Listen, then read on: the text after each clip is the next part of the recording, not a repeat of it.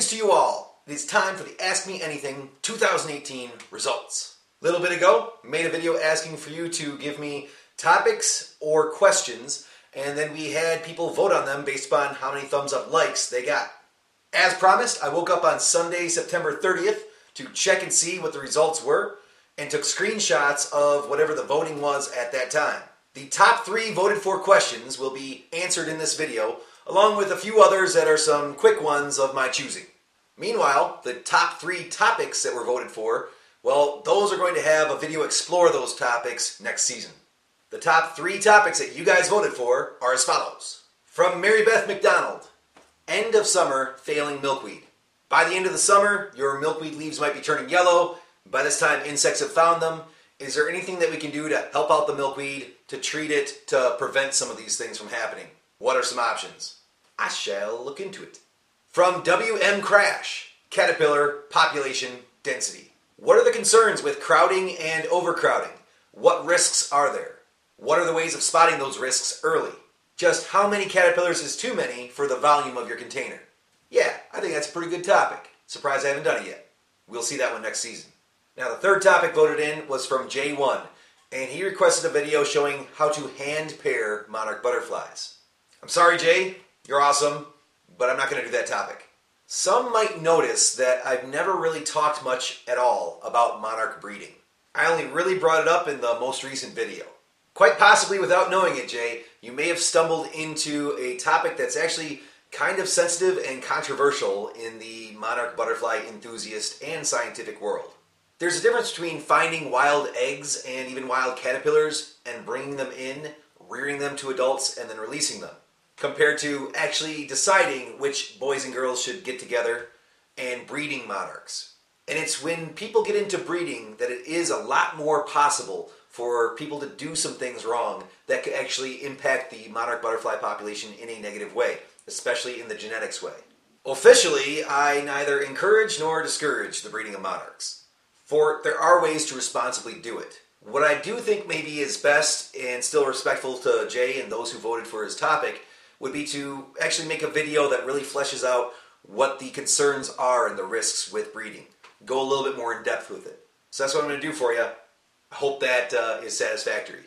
Now, I don't know if you viewers then are going to count that as officially doing a topic, and that's why I've chosen also the next fourth most voted one, and I'm going to do that one too. From Emily Herson, what happens to our butterflies after we release them? Specifically, the idea of what would happen to like a third generation versus a fourth generation. Do they start migrating right away? Do they hang around our yards? Well, this is actually something I've wanted to explore for a bit of time now, and I'm going to finally make one next season a video discussing really how the idea of fourth generation monarchs migrating, well, it's kind of a general rule. And with all general rules, there are exceptions. And actually, this is a place where there's plenty of exceptions. To say that it's the fourth generation monarchs that are migrating, and hey, I've, I've said it many times in these videos, well, it's a bit of a simplification. Let's actually see in that video next season as to what the real details are. I think it's going to be a really interesting video. Okay, on to the questions. Before we get into the top three, let's do some quick rapid fire ones. These are ones I chose because actually the answer to them is pretty quick. From JMW, NYC, PRR. Have any of your monarchs that you've tagged been found or recovered? No. From Andre Rodriguez. Do you raise any other types of butterflies? No. I did do a little stint once with some eastern black swallowtails. Didn't go well. None of them survived. I accidentally fed them some organic parsley, which had BT bacteria as a pesticide. Did you know that as long as they use BT bacteria, they can still label things organic because that bacteria is organic? Yeah, killed them all. Wasn't fun. From Richard Cranium How do you get all the milkweed that you need to feed the caterpillars? Well, I don't know if this question is about me specifically, or if you're just saying, how does one get enough milkweed? If it's about me specifically, check out some of the other videos. I have a trail that I go for runs on in the morning in the summer, and there is plentiful amounts of milkweed there. That's why I'm able to take in as many as I do. But if you're asking just in general, what I would definitely recommend, and you're helping out the monarch butterflies better than even raising them, is to plant milkweed. Find wherever you can. This is the number one way to help out the monarch butterfly is restoring its habitat. So whether it be in your yard or it's places in nature that you find a good spot where it won't be mowed down, or even getting in touch with certain municipalities such as getting them planted in parks, libraries, courthouses, schools. Plant the milkweed. Look long term. If you only have enough milkweed to maybe take in four or five caterpillars and you want to take in more, well, get those seeds planted. If you've got more plants, then you can start taking in more monarch butterflies. And you also then know you are helping to restore that habitat, which really is the way to help them. Alex Strauss asks If you weren't a teacher, what other profession do you see yourself doing? Well, I know because of my love of chemistry, I'd be doing something in that field. And back in college, I tossed around the idea of being an environmental chemist. After environmental chemist, though, I think maybe second place might have been a material scientist, a type of chemical engineer that really designs and develops brand new types of materials that nobody ever has before. We're talking about things like alloys, ceramics, polymers. It's an amazing cutting edge field of chemistry. Now, for the other questions that didn't get the top votes, but were really good ones and maybe didn't have necessarily the shortest answer, believe me, I hear you, and it's definitely shaping what I'm deciding to cover next season. So I thank you all for contributing what you did. And now for the most voted for top three questions. From Aiden Mashak If I release my butterflies at my house, would they be able to find the nature center that's about a half mile away? Uh, find the milkweed that's there? Do they have, in other words, navigation skills? Would they be able to? Yes. And in fact, quite easily. When we talk about the range that a typical individual monarch has in a given day, it definitely depends upon whether it's migrating or not.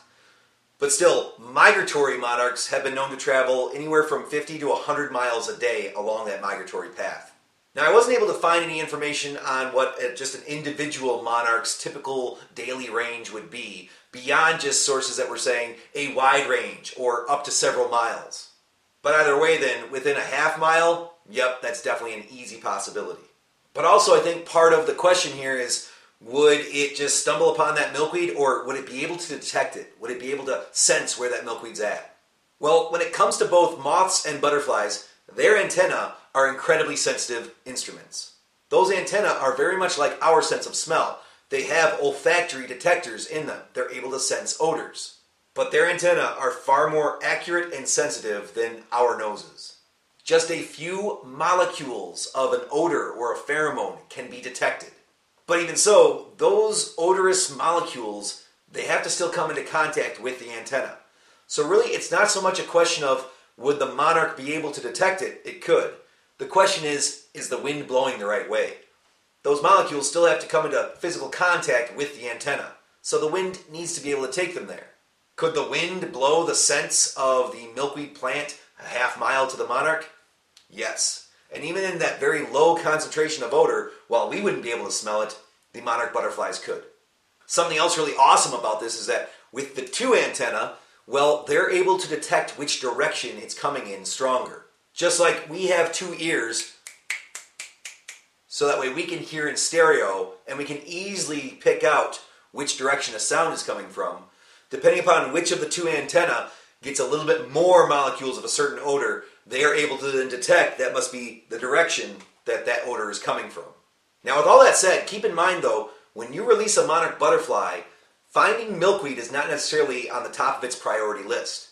So the scent of nectar producing flowers, which granted could be milkweed flowers, and the scent of mates, and in half the cases, the scent of rival males, that's going to influence where the monarch decides to head to first. Next up, from Susan Smith.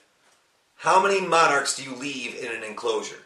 Well, there isn't a set number of how many caterpillars can you put together per cubic inch or per liter of a container. And some of you might realize this question is kind of overlapping one of the topics that we're going to discuss next year. But still, what I'll bring up now is, you know, when it comes to these containers, one per container would of course be perfect, would be ideal. But it's not really that feasible for us to do for raising plenty of monarchs. But what about two in a container? Is that really much of a risk? Three? Four? Eleven teen? When is it too much? And certainly the volume of these containers definitely plays a role in this. Well, there isn't a firm line to draw between this number's okay and this next number's not. It's really about probability. It's like asking how many spins of the roulette wheel before my one number comes up. Statistically, 1 in 36, not counting those zeros. But that doesn't mean after 36 spins that your number will have only come up once. Could have come up three or four times. Could have come up no times at all. It's all about probability. And the same thing is true with keeping monarch caterpillars together. The more we have in a container, the more the risk for disease, infections, spreading of parasites, outbreaks increases.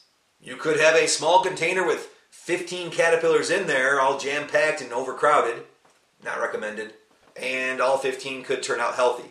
Meanwhile, you could have a container that just has three or four in it, and because one had an infection, the rest get that infection as well. For me, as stated in some of my other videos, I start off with small to go food containers. And in those, I try to keep it to six. I am willing, if I'm going through a lot of numbers, to push that up to seven or eight. But I really don't feel comfortable going past eight. In my larger containers, seen in plenty of the videos too, I'll go with eight to ten in there, though sometimes I might go to 11 or 12. But that's usually only if some are already up at the ceiling getting ready to J hang then that's not really contributing to the crowding issue. And these are the numbers that I've been comfortable with because I haven't seen any ill effects because of it. Maybe based upon the volume of my containers, I could go more, but I don't really want to push it and find out if that's a good thing or a bad thing. The only way to start finding out what the bad numbers are is to push the numbers up and see a bad result happen. So the best I can really say is there's what I'm doing, and you can take that as your own inspiration as to judging based upon the size of your containers what you feel comfortable with. But what I should also point out is that one of the reasons why I feel comfortable with those numbers is because I'm also doing what I can to prevent infections in the first place. Through bleach treating eggs, leaves, and through proper sanitation of those containers once a week, I've been able to reduce the risk of what kind of outbreaks and diseases could be occurring. For such sanitation procedures, there already are some videos that I've made that exist, and I've put their links down in the description below. All right, and the most voted for question came from Stormy Rider 37. Have you ever calculated the male versus female hatching success rate, and does it somehow depend upon the weather? Well, first off, I'm guessing you're talking about adult monarchs that are emerging from their chrysalis.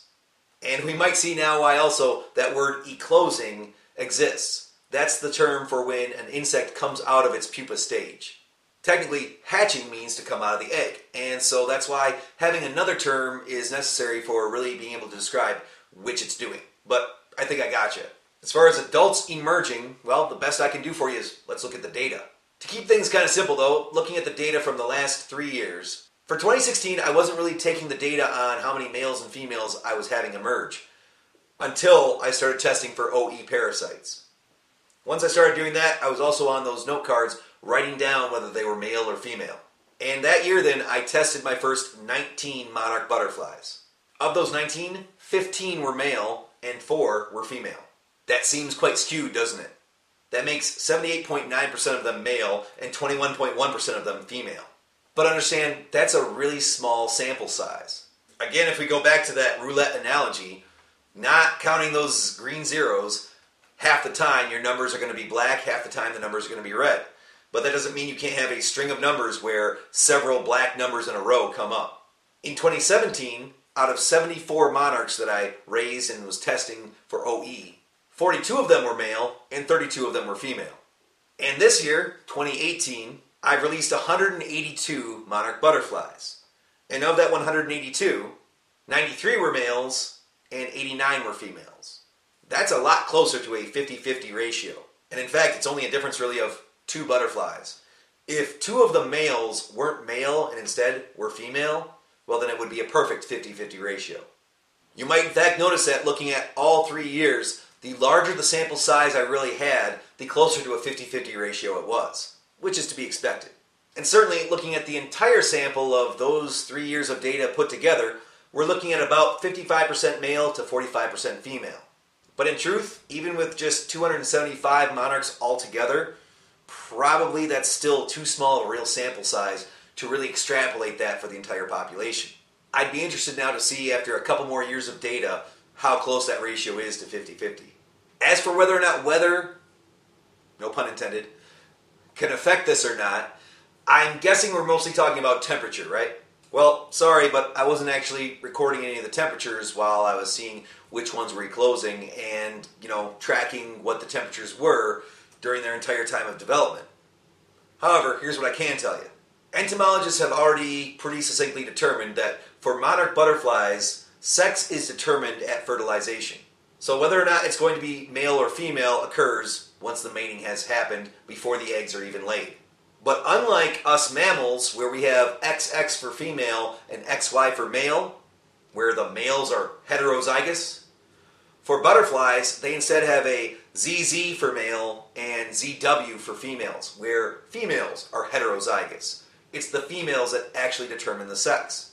So, to try to give the question a good answer, I looked up some information on this as far as does temperature at all affect the sex ratio of monarch butterflies? And the answer was actually pretty cool. Temperatures can affect the sex ratio for monarch butterflies. At very cold and very hot temperatures, that actually can cause an uneven division of the gametes in monarch butterflies. Colder temperatures can cause a slight bias towards female gametes when it comes to the female sex chromosomes that are donated to the egg. Meanwhile, at warmer temperatures, this can cause a slight male bias in the division of the game gametes. From what I've read, though, this is a pretty slight bias towards females when it's colder and males when it's warmer. And even then, these are some extremer temperatures that they're not going to easily see in nature. And it also had to be temperatures that were for a prolonged amount of time. All right, great topics, great questions, and thank you so much for contributing to it. It really gives me a good feel for what kind of information you guys would like to see out there next year. Till next time, I'm Rich Lund, and remember, raising the monarchs helps, but planting milkweed will actually solve the problem. Catch you later.